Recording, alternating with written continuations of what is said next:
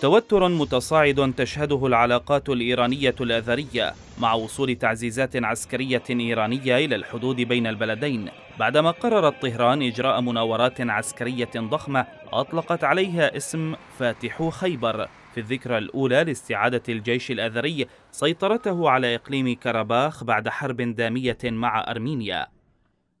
توتر تعكسه تصريحات الرئيس الأذري إلهام علييف والتي انتقد فيها اختيار طهران للحدود مع بلاده من أجل إجراء المناورات واصفا ما جرى بالحدث المفاجئ.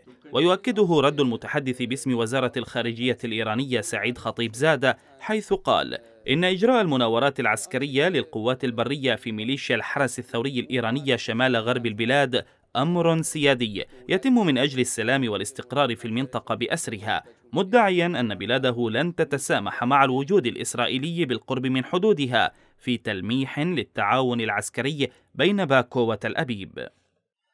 مراقبون يرون أن تحركات إيران العسكرية ترتبط بالإجراءات التي اتخذتها أذربيجان بحق عدد من سائقي الشاحنات الإيرانية بعد توقيفهم ومطالبة طهران بدفع الضرائب. إذا ما أرادت أن تصل شاحناتها إلى البلدات التي يقطنها الأرمن وتسيطر عليها قوات روسية بشكل مؤقت واستدعائها السفير الإيراني في باكو للاحتجاج على عبور الشاحنات بطريقة غير شرعية.